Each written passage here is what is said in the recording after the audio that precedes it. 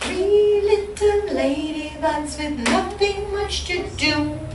One feels a drop of rain, now there are two.